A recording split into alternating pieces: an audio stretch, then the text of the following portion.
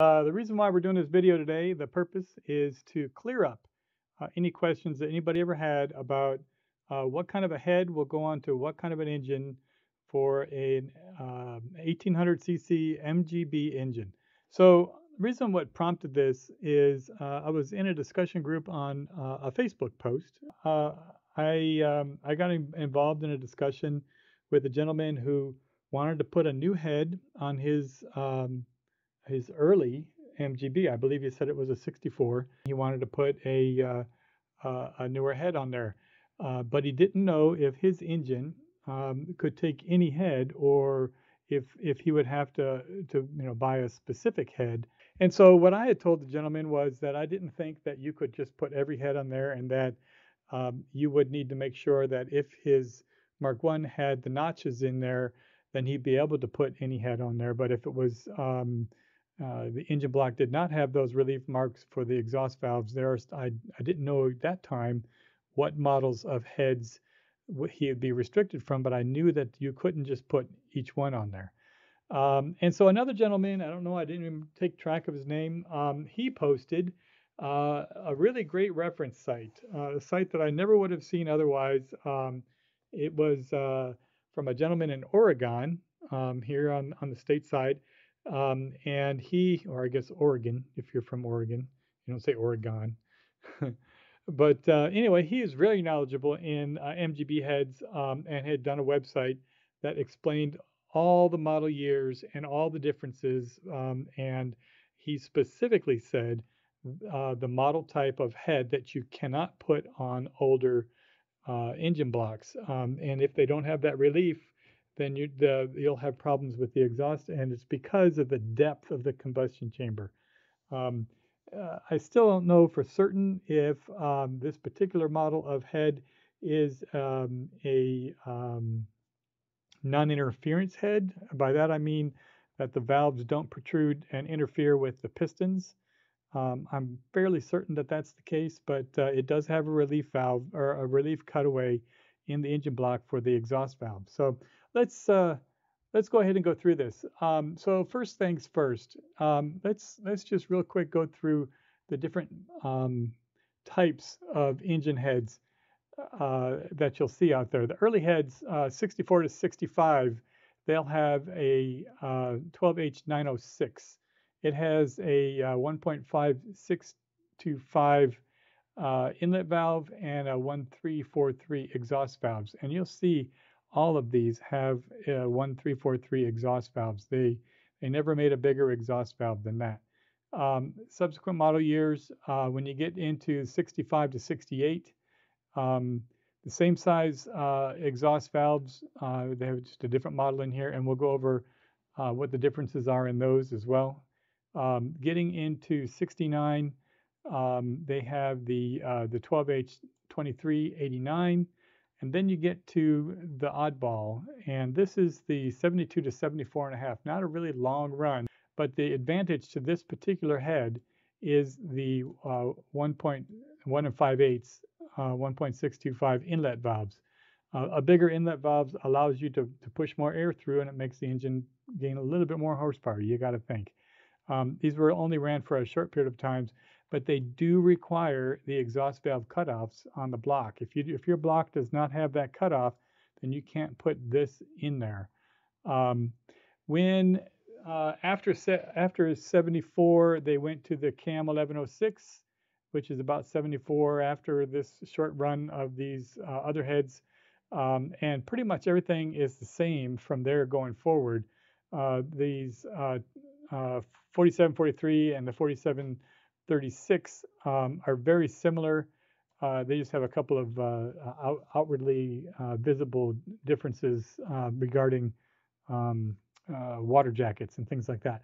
Um, so uh, this is the, the early breakdown of, of basically where those come from. 64 to 65, you'll have this one here.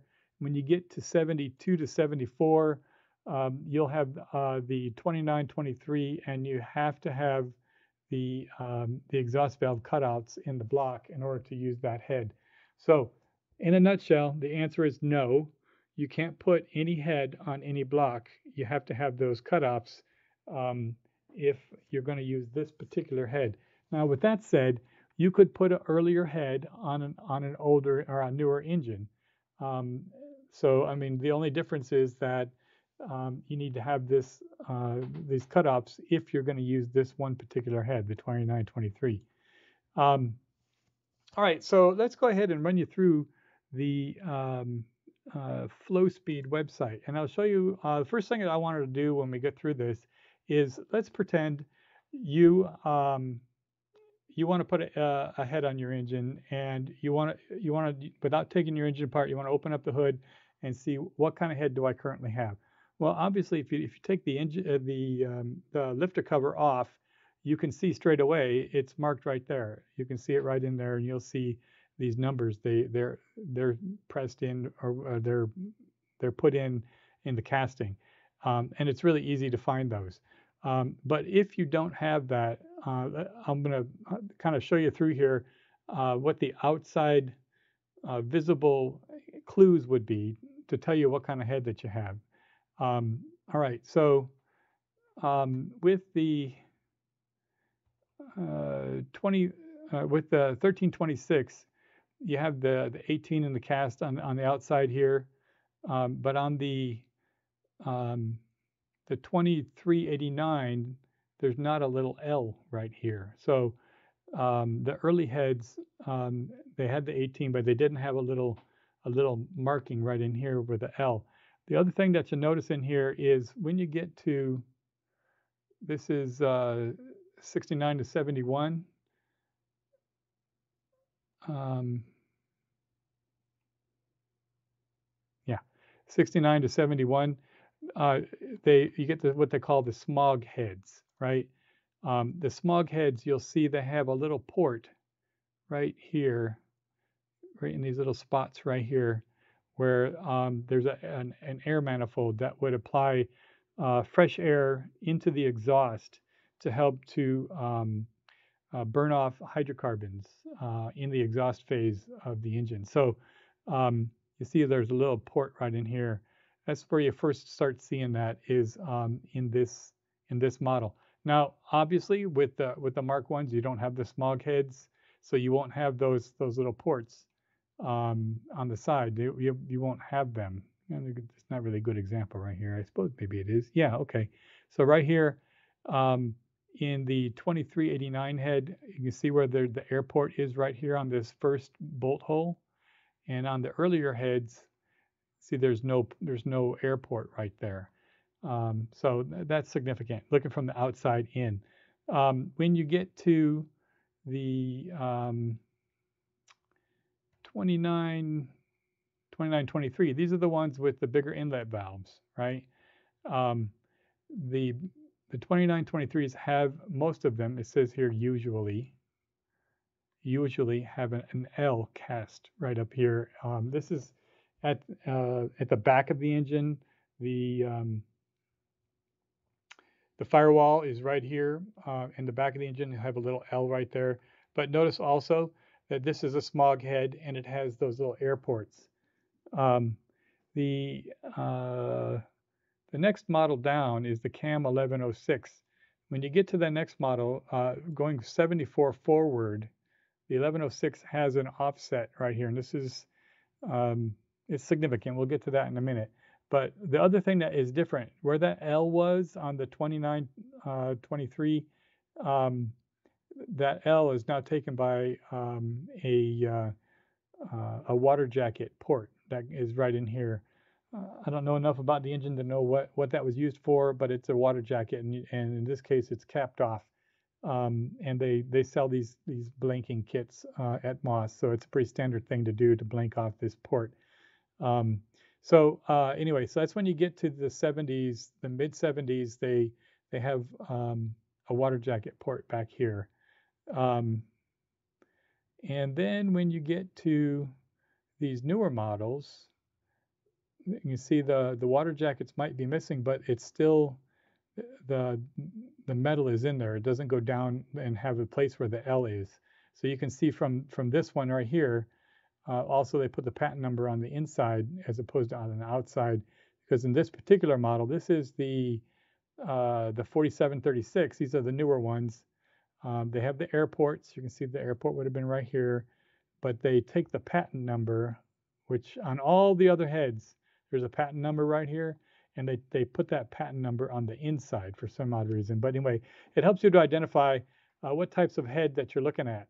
Um, so anyway, this is a really, really helpful website. If you have any questions about heads, um, I reached out to Sean Brown here um, via email and uh, got his permission to share this information um, in in my YouTube uh, series here.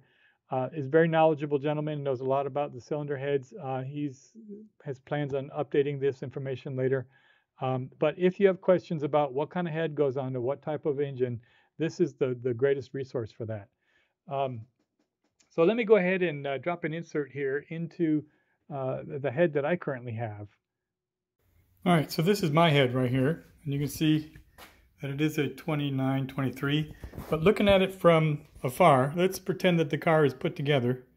Uh, here, let me let me uh, just mock it up with the uh, lifter cover. All right, so here is with the lifter cover. So if this is in the engine and you wanted to see what kind of head it was, you wouldn't be able to read that that etching that's in the inside. But you could derive from the 18 and the L and the um, the patent number being on here and uh, a lack of a, um, a water jacket uh, valve right here that this is the uh, 2923 and there it is right there. All right, so what's different about the 2923 um, and, and why would you not want to use this one on an older head or uh, an older engine? Let me show you, let me flip it over. All right, so right here you can see that the biggest difference is the size of the intake valve. The intake valve is much larger. When you look at some of the older engines, the gap between the intake valve and the exhaust valve is a little bit bigger.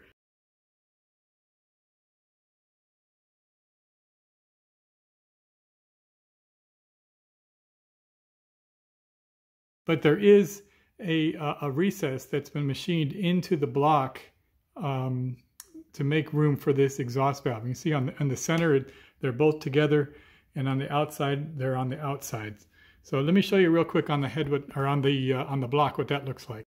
All right, so here you go, looking at the block on the 18V engine, and you can see there is a notch machined into the inside of the cylinders um, on the inside two cylinders, and then it's on the outside of the outside two cylinders.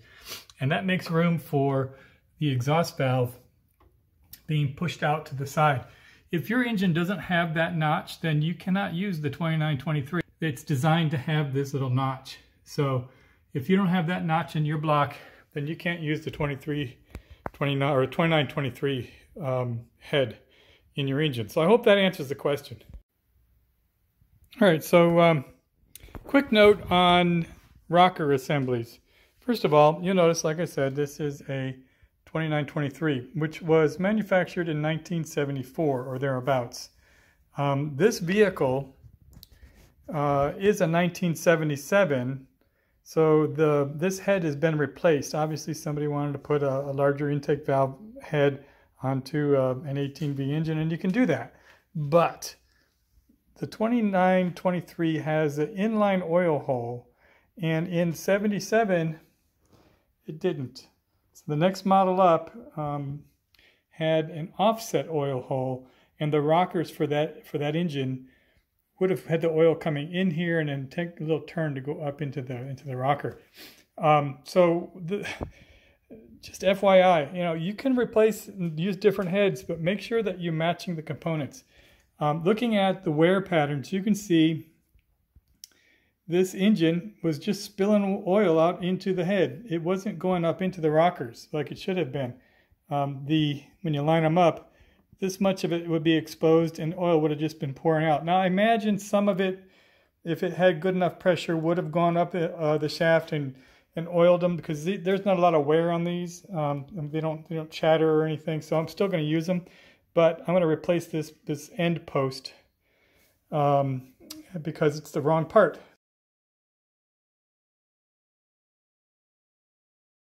So yeah, you can interchange these heads and you can make them work, but make sure that you're matching all the components to make them work properly. So That's uh, that's something to, to, to, to be aware of.